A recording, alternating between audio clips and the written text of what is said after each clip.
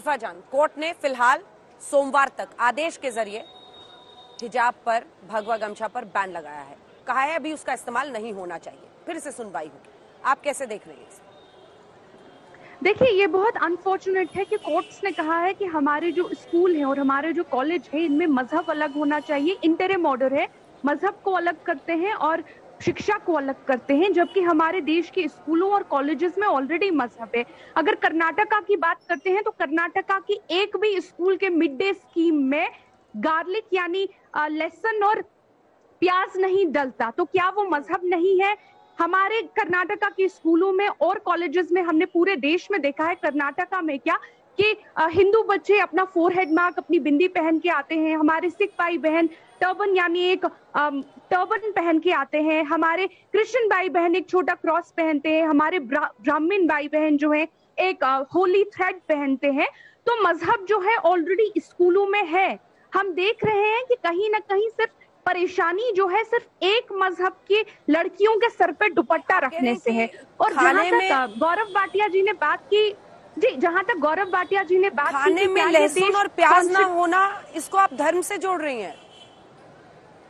नहीं जहाँ तक गौरव भाटिया जी ने बात की कि ये देश कॉन्स्टिट्यूशन यानी संविधान से चलेगा या हमारा देश जो है मज़हब से चलेगा भाई हमने देखा है कि हाँ। हमारे जो भी देश के पॉलिटिशियंस हैं बड़े बड़े चाहे राहुल गांधी जी हो प्रियंका गांधी जी हो हमारे अखिलेश यादव जी हो वो कॉन्स्टेंटली अपने मज़हब का प्रचार करते रहते हैं मंदिरों में फ़ोटो लग हाँ। के फोरहेड स्मार्क लगा के ठीक है वो हिंदू है प्राउड है बहुत अच्छी बात है तो जब वो अपने मज़हब का प्रचार कर सकते हैं और उनको ये देश का संविधान अधिकार देता है हाँ, मज़हब का प्रचार करने के लिए तो ये अधिकार जो है बाकी मुसलमान लड़कियाँ जो स्कूलों या कॉलेजेस में पढ़ना चाहती हैं उनके लिए भी होना चाहिए। बस यही हमारा पॉइंट है।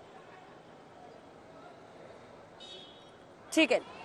निगता पास निगता पास निगता पास आप कैसे जी अंजना जी बिल्कुल। जो ये फैसला आया है बिल्कुल सही है और मुझे लगता है इसी को आगे भी कोर्ट को कैरी फॉरवर्ड करना चाहिए। कारण ये कि जब हम एजुकेशन सिस्टम की बात करते हैं ना तो हमें समझना पड़ेगा जैसे कि इफ्रा कह रही थी वो एक ऑर्गेनाइजेशन एक पॉलिटिकल ऑर्गेनाइजेशन की बात कर रही है। हम ये एजुकेशन सिस्टम की बात कर रहे हैं जिसमें uniformity is always equals to equality अब सबसे बड़ी बात ऐसा ना हो आज आप हिजाब की डिमांड कर रहे हैं ये डिफ्रेंसिएशन आ जाएगा इसको कैरी फॉरवर्ड किया जाएगा ये कहकर कि आज मैं हिजाब पहनूँगी कल ये भी डिमांड आएगी कि मुझे स्कूल में अलग से नमाज़ पढ़ने की जगह दी जाए। फिर कहा जाएगा हमें संडे नहीं, हमें तो फ्राइडे यानी जुमे की छुट्टी दी जाए। फिर ये भी कहा जाएगा हमारी जो कैंटीन है, वहाँ पर चिकन मटन हलाल चिकन मटन की उपलब्धि की जाए। जैसे कि उन्होंने गार्लिक और लहसन और प्याज का उन्होंने एग्ज़ाम्पल दिया। उसके बाद ये भी कहा जाएगा कि और कुछ नहीं। अब तो काफिरों का स्कूल में आना बंद कर दिया जाए। मैं नहीं कह रही कि ये सब कहेंगे, लेकिन कुछ लोग जो इसको सहयोग नहीं प्रयोग बनाना चाहते हैं, वो ज़रूर इस बात को रखेंगे। और अंजना जी, दस सेकंड में और लूँगी, क्योंकि हमें इस बात को समझना पड़ेगा कि अगर कोई बच्ची हिजाब नहीं पहनती है ये जो 18 साल की बच्चे, इनकी अपनी जहनियत अभी नहीं है। इनके माता पिता और बहुत सारे लोग जो इसकी मुखालिफत करते हैं आगे आकर इसलिए इस चीज़ को बढ़ावा दे रहे हैं, क्योंकि इन बच्चों के जहन में डाल दिया जाएगा कि बेटा, अगर तुम हिजाब नहीं पहनोगे ना तो आगे तुम्हारे रिश्ते नहीं होंगे। तुम्हें कैरेक्टर सर्टिफिकेट दे दिया जाएगा, और ये होता है एज अ मुस्लिम मैंने एक्सपीरियंस किया अंजना जी। मैं जब हिजाब पहनती हूँ, तब तो मेरी वाहवाही होती है।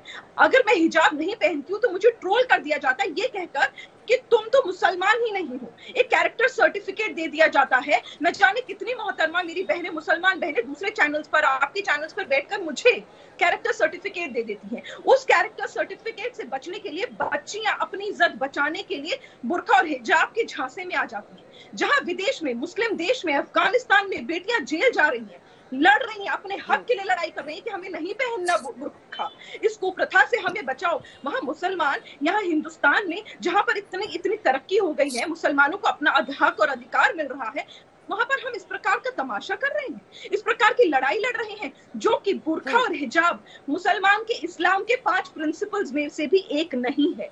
हिजाब ना ही कभी इस्लाम की आइडेंटिटी था ना है और ना भी ना कभी होगा। अल्लाह आइडेंटिटी है।